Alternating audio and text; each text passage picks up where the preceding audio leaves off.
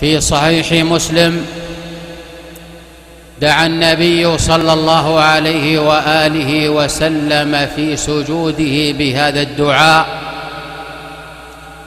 اللهم أعوذ برضاك من سخطك وبمعافاتك من عقوبتك وأعوذ بك منك. لا أحصي ثناء عليك أنت كما أثنيت على نفسك.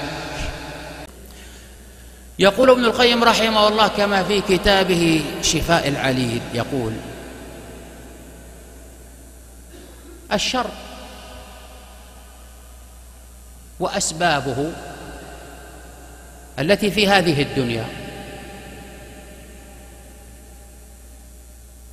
واقعة. بماذا؟ بقضاء الله وبقدره.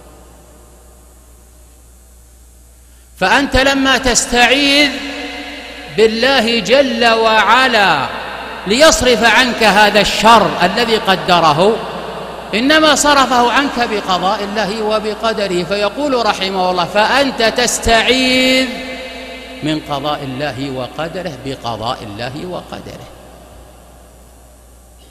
الذنوب والامها وعقوباتها المضرة للدين.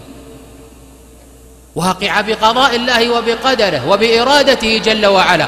فإذا استعذت بالله عز وجل ان يصرفها عنك؟ لما صرفها عنك صرفها عنك بقضائه وقدره وبإرادته جل وعلا. فيقول فهو جل وعلا المعيذ عبده من قدره بقدره ومن إرادته بإرادته وهو المعيذ جل وعلا لعبده من نفسه بنفسه يقول ابن رجب رحمه الله في جامع العلوم والحكم يقول كلاما جميلا يقول المذنبون المذنبون ليس لهم من يلجؤون إليه في مغفرة الذنوب إلا الله. يقول وتأمل حال أولئك الثلاثة الذين خلفوا في غزوة تبوك. رتب الله جل وعلا توبته عليهم لما ظنوا أن لا ملجأ من الله إلا إليه.